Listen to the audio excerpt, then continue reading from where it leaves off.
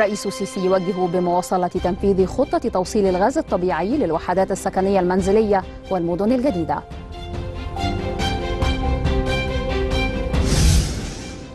الرئيس السيسي يتفقد عددا من المركبات المدرعة متعددة المهام التي تم تصنيعها بإمكانات القوات المسلحة. وزير المالية يؤكد رفع كفاءة الأداء المالي باستخدام الحلول التكنولوجية.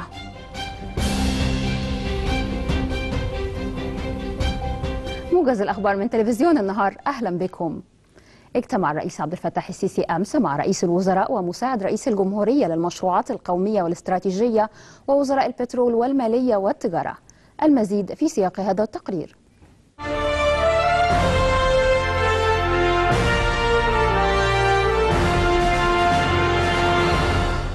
اجتمع السيد الرئيس عبد الفتاح السيسي مع الدكتور مصطفى مدبولي رئيس مجلس الوزراء والمهندس شريف إسماعيل مساعد رئيس الجمهورية للمشروعات القومية والاستراتيجية والمهندس طارق الملا وزير البترول والثروة المعدنية والدكتور محمد معيط وزير المالية والسيدة نيفين جامع وزيرة التجارة والصناعة.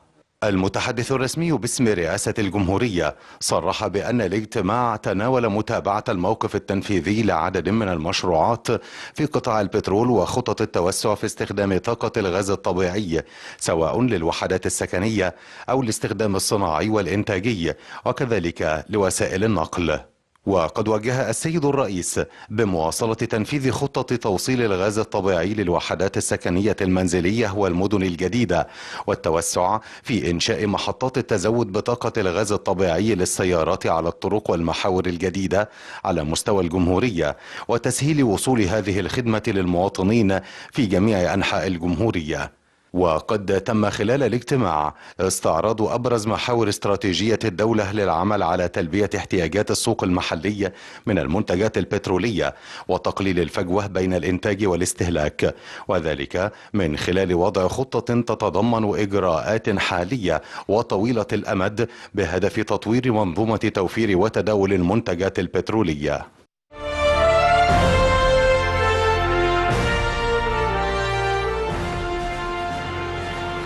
اجتمع الرئيس عبد الفتاح السيسي أمس مع الفريق أول محمد زكي القائد العام للقوات المسلحة وزير الدفاع والإنتاج الحربي والفريق محمد فريد رئيس أركان حرب القوات المسلحة. المزيد في سياق هذا التقرير.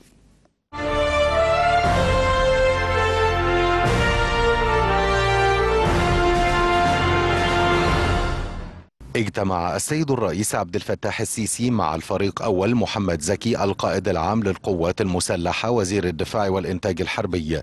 والفريق محمد فريد رئيس أركان حرب القوات المسلحة بالإضافة إلى عدد من قادة القوات المسلحة.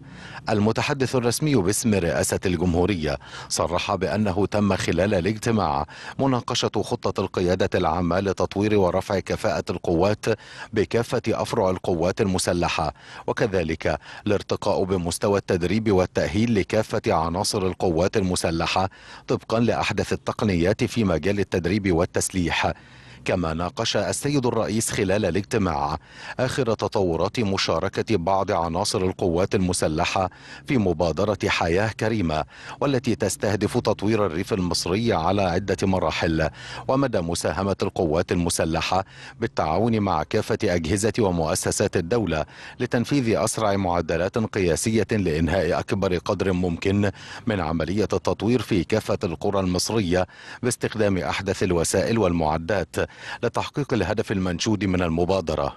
وقد أكد السيد الرئيس على أهمية تنفيذ تلك المبادرة وفقا للمخطط الزمني بما يعود بالنفع المباشر على المواطنين ويسهم في تحقيق عملية التنمية المستدامة لكافة المراكز والقرى على مستوى الجمهورية.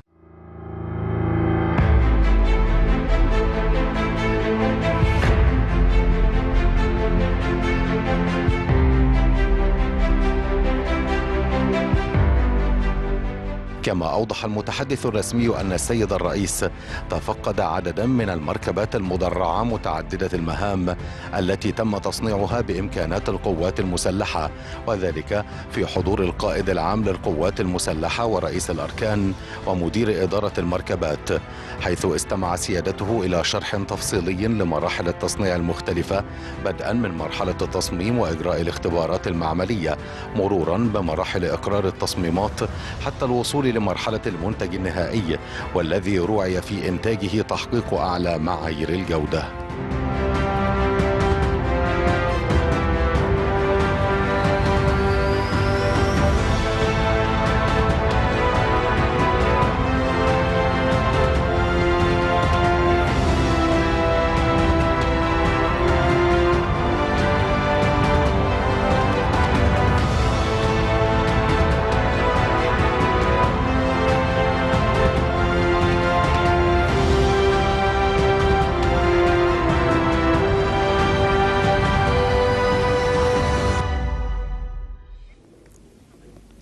وافق مجلس إدارة هيئة المجتمعات العمرانية الجديدة في اجتماعه برئاسة الدكتور عاصم الجزار وزير الإسكان على تخصيص 22 قطعة أرض ب 12 مدينة جديدة بأنشطة متنوعة وذلك في إطار جهود الهيئة لزيادة معدلات التنمية ودفع عجلة الاستثمار بالمدن الجديدة وكذلك توفير العديد من فرص العمل من هذه المشروعات.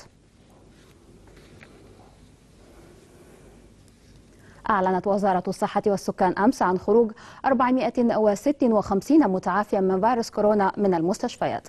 ليرتفع إجمالي المتعافين من الفيروس إلى 200,005 و157 وأوضحت الصحة أنه تم تسجيل 566 حالة جديدة ثبتت إيجابية تحاليلها معملية للفيروس كما لفتت الوزارة إلى وفاة 38 حالة جديدة.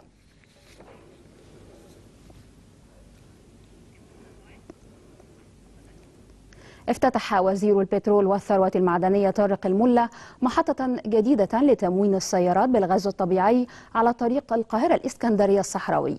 كما تفقد الوزير المحطة الجديدة والجاري الأعداد لتشغيلها للجمهور خلال الفترة القريبة المقبلة حيث تأتي المحطتان الجديدتان لخدمة مرتادي طريق القاهرة الإسكندرية الصحراوي على جانبيه من مستخدمي الغاز الطبيعي بالسيارات. أعلنت وزيرة التجارة والصناعة نيفين جامع أن الصادرات المصرية غير البترولية حققت زيادة ملموسة بنسبة 19% خلال الخمسة أشهر الأولى من عام 2021 كما أشارت الوزيرة إلى أن الصادرات المصرية شهدت ارتفاعا كبيرا خلال شهر مايو الماضي بنسبة 50% وأضافت جامع أن الواردات المصرية شهدت خلال الخمسة أشهر الأولى من العام الجاري أيضا ارتفاعا طفيفا بنسبة 10% أكد وزير المالية دكتور محمد معيط أننا ماضون في تعزيز حوكمة المنظومة المالية بالتزامن مع الانتقال التدريجي إلى مصر الرقمية وفقا لأحدث المعايير والخبرات العالمية على النحو الذي يسهم في إرساء دعائم الإدارة الرشيدة للمال العام. جاء ذلك خلال لقائه اليوم مع تيري الرئيس الإقليمي لشركة هواوي بشمال إفريقيا.